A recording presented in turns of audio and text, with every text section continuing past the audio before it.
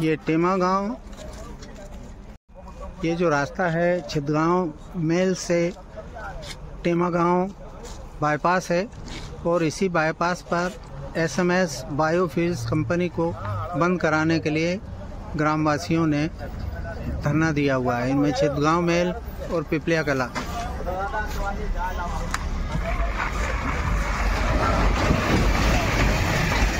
ये यहाँ पर अच्छी खासी तादाद में ग्रामवासी बैठकर और इस एसएमएस बायोफ्यूल कंपनी के खिलाफ धरना दे रहे हैं। भारत सरकार द्वारा पर्यावरण संरक्षण हेतु पेट्रोल में इथेनॉल ब्लेडिंग पॉलिसी के तहत स्थापित आधुनिक तकनीक से आधारित उद्योग, हरदा ज़िले के टिमरनी विकासखंड की ग्राम पंचायत छिदगांव मेल में ये S M S biofuel private limited company यहाँ पे स्थापित है और छिदगांव के ग्रामीणों ने इसका विरोध कर दिया है। उनका कहना है, ये जानकारी उनसे अभी मांगेंगे हम कि क्या कहना है उनका। वो लोग यहाँ धरने पर बैठे हुए हैं। ये देखिए, धरना चालू है ग्रामीणों का। हम उनसे पूछते हैं कि भाई, क्या कारण है आप इस प्रकार धरने पर क्यों बैठे हैं? देखिए, पूरे ग्रामीण लोग यहाँ पर नमस्कार जी। नमस्कार क्या समस्या है आप लोगों की यहाँ पर धरने पर? कब से बैठे हुए हैं? क्या कारण है? सर धरने पर हम लोग जो है वो आज चौथा दिन है हमारा। 25 तारीख से बैठे हुए हैं। क्या कारण है? हमारा कारण ये है कि हमारे गाँव का पूरे का उद्देश्य ये है कि ये जो एसएमएस कंपनी है इसको पूर्ण रूप से बंद करना है। क्यों करना है? क्या कारण है? कारण इसका ये है सर कि इससे हमारी जो है वो मतलब ये जो नाला है जिसमें इसका पानी निकास हो रहा है, वो पूरा नाला पानी प्रदूषित हो रहा है। दूसरा, इससे इतनी खतरनाक तेज बदबू आ रही है कि गाँव में जो लोग हैं, बच्चे हैं, स्कूल में पढ़ने वाले, बुज़ुर्ग, युवा सभी को सांस लेने में दिक्कत हो रही है, परेशानियाँ हो रही है, कई प्रकार की बीमारियाँ हो रही है। तीसरा, ये है कि आसपास जो किसानी लोग कर रहे हैं, फ़सल लगी हुई है। उस फ़सल पर भी जो है वो उसकी इतनी परत जम गई है कि वो पूरी ज़मीन की ज़मीन जो है वो अनुपजाऊ हो गई है। यानी फ़सल की ज़मीन की गुणवत्ता जो है वो धीरे धीरे नष्ट होती जा रही है। और ये जो रोड है, इस पर अनर्गल कई प्रकार के जो है वो बड़े भारी वाहन चलते हैं। उससे भी आने जाने में यात्रियों को या दो पहिया वाहनों को परेशानी होती है। मुख्य कारण इसका जो है वो फैक्ट्री से निकलने वाली जो दुर्गंध और उसमें कई प्रकार के मिलाए हुए केमिकल उनसे हमको सांस लेने में असुविधा हो रही है। हमारा जीवन जो है वो ये एक राक्षस बन करके हमारे गाँव में आया है और हम सभी का यही उद्देश्य है कि इसको जो है वो पूर्ण रूप से यहाँ पर बंद कराना है। अभी आपने अपनी आवाज़ कहाँ कहाँ तक और किस प्रकार पहुँचाई है? अभी हमने हमारी आवाज़ जो है वो डेली प्रतिदिन प्रशासनिक अधिकारी जो है वो आते हैं हरदा से भी आते हैं। टिमरनी से भी आते हैं। सभी लोगों के इनके पास पहुंचाई है, लेकिन सामने वाला जो है वो थोड़ा सा आर्थिक रूप से प्रबल है, इसलिए उसकी फील्डिंग ज़्यादा जमी हुई है। और हम लोग जो है वो पूरे 24 घंटे जो है वो धरने पर बैठे हुए हैं, वो चाहे कितनी भी ताकत लगा ले, कितनी भी ऊर्जा प्रयोग कर ले, लेकिन हम ग्रामवासी सब मिल करके और हमारा एक ही उद्देश्य है कि किसी न किसी प्रकार से ये फैक्ट्री को हमको बंद करना है बंद करना है और बंद करना है। प्रशासन के अधिकारी भी यहाँ पर आते होंगे क्या कहना पड़ता है उनका? हमारे हाथ में कुछ नहीं। सर वो आते हैं वो जब आते हैं प्रशासन हमारे साथ नहीं दे रहा है प्रशासन कुल मिलाकर के उसका साथ दे रहा है। और जब जैसे कोई प्रदूषित जल की जाँच होती है तो सामने वाला बंदा दो या तीन दिनों में पूरे जो गंदगी है जो उसका जो नाला है जहाँ से पानी का निकास होता है उसको बड़े बड़े मोटर पंप के द्वारा उसको पूरा साफ़ कर देता है।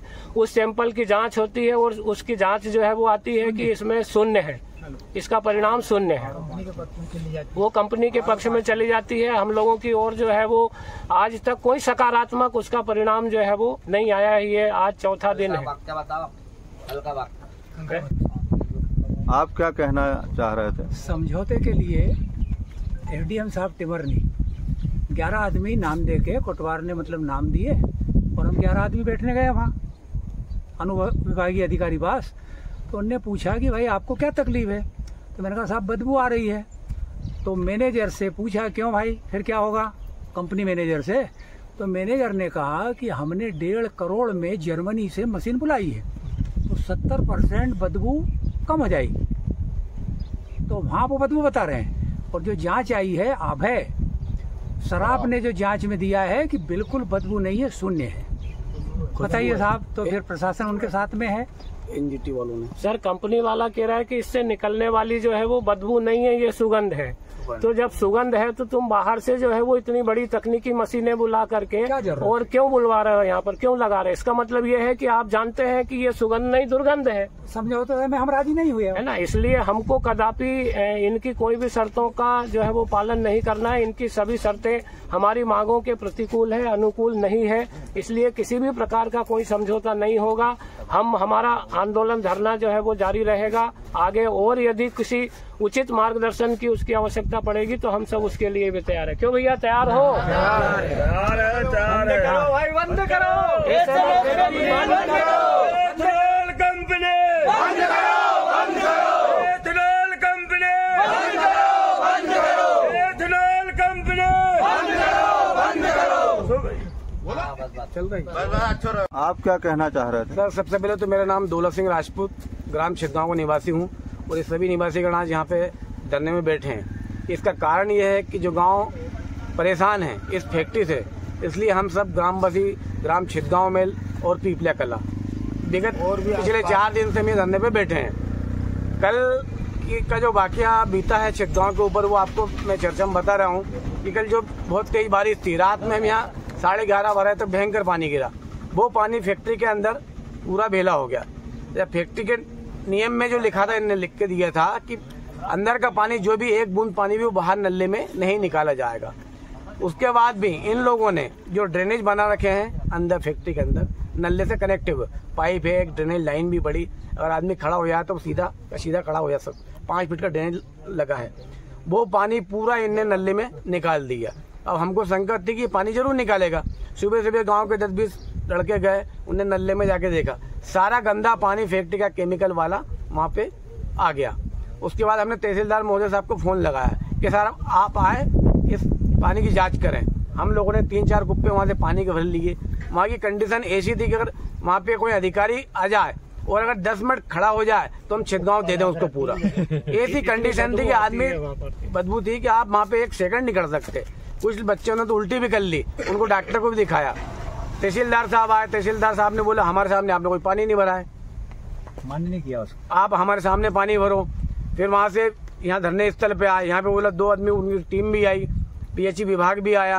अंदर नहीं जाने दिया। और डिप्टी कलेक्टर साहब भी आए सभी लोग आए। फिर यहाँ पे उन्होंने भिजवाया उन्होंने भैया आप पानी भर के देगा इस बीच में फैक्ट्री वालों ने अपनी जो मोटर बीबी दास पर के लगा रखी है। उनने मोटर चालू करके नल्ले में पानी बहाना चालू कर दिया। हम ग्रामवासी बोल रहे हैं कि साहब ये इस बीच में जो एक घंटा बीता है इसमें आधा तो उनने पानी बहा दिया। जो ओरिजिनलिटी थी वो तो वो खत्म कर रहे हैं। आप जल्दी करो अगर जल्दी नहीं कुछ काम होगा। तहसीलदार को भराने की परमिशन भी नहीं। तहसीलदार साहब बोले आप अंदर चलो तहसीलदार साहब को उन्हें मना बोले नहीं पहले हमारे बोस से बात करेंगे फिर आप जाएँगे। मतलब फैक्ट्री आज इतनी बड़ी हो गई कि शासकीय अधिकारी और तहसील का मालिक है तहसीलदार जो पूरा टिमंडी तहसील देखता है। ये फैक्ट्री वाला इतना बड़ा हो गया कि तहसीलदार महोदय साहब को अंदर नहीं घुसने दे रहा है। आज अगर ये कंडीशन है तो कल को कलेक्टर साहब भी आएँगे कमिश्नर साहब भी आएँगे सीएम साहब भी आएँगे तो क्या इनको अंदर प्रवेश नहीं करने देगा? एक ग्राम छिदगांव की आवाज़ दबा लेगा ये फैक्ट्री वाला बाहर से आके। ये हम किसी प्रकार से होने नहीं देंगे।